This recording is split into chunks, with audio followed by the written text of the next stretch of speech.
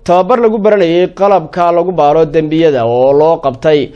Qaar ka mid a wasaaradaha puntland iyo booliska ayaa lagu soo gebagabeeyey magaalada garowe weriye xasan baasha ayaa warkani garowe ka soo diray. Dad ka socda wasaaradaha cadaaladda caafimaadka maxkamadaha iyo c i d da puntland ayaa maanta tababar lagu soo gabagabeeyey magaalada garowe waxaana la tababarayaasha la barayay siday ugu shaqayn lahaayeen shaybaar lagu baari doono dembiyada iyo jinsiga oo dhowaan dowladda sweden ugu deeqday puntland.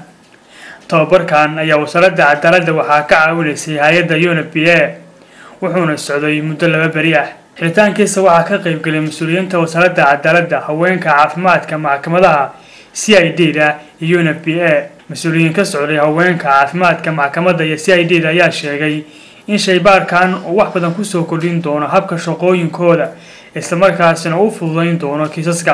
Iyo in collaboration uu ka dhex dhaco wada shaqayn oo la hay'adaha ee khusayso. Waxaanu si fiican u falanqaynay ilaa shalay ilaa maanta hay'ad kasta roolka iyo responsibilityga ay leedahay. Waxa ay mudan tahay iyo waxa ay shaqadeeda tahay. Keliya ma aha kursi in lagu ogaan doono qalabkan. Wax walba oo crime ah oo dhaca ayaa lagu ogaan doonaa. Waxaanu ilaahay ka rajaynaynaa in ay qabtaan hawshaan dadkii ahalka u ahaa. Wuxuu ka qayb qaadan doonaa kalsoonida dowladda loo qabo. Wuxuu ka qayb qaadan doonaa dembiilayaasha oo aan horay ugu dhiiran dembiga. Maadaama qof waliba uu og yahay faldembiyeedka uu geysto in loo soo qabanayo ama loo helayo si yaroo kooban.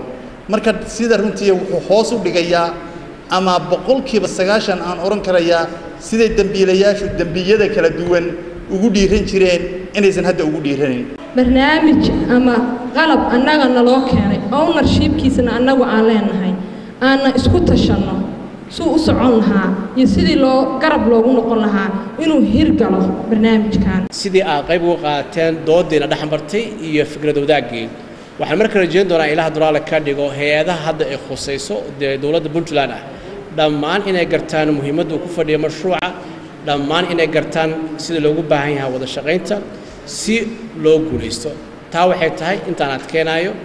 C i d du waxay heshay walaalkii runtaha walaalkaas waa kii la raadinayay dhabta soo helidda dembiilaha kaas wey walaalka dhabta ah ee c i d. Way heshay waa laabkan oo uu farsamo yaqaan u yahay doctor cabdirashiid insha allah waa xafidanaynaa. Kulligeenna mas'uul baanu ka nahay. Inaannu wada xafidnaa nalaga rabaa. Aniguna waa idiin hayn doonaa. Haddii alla idmo waana idiin xafidi doonaa. Wabilaahi tawfiiq. Agaasimaha guud ee wasaaradda cadaaladda puntland maxamed cali faarax ayaa ballan qaaday in shaybaarkan aan wax faragelina lagu samayn doonin islamarkaasina ay ugu shaqayn doonaan sidii loogu talagalay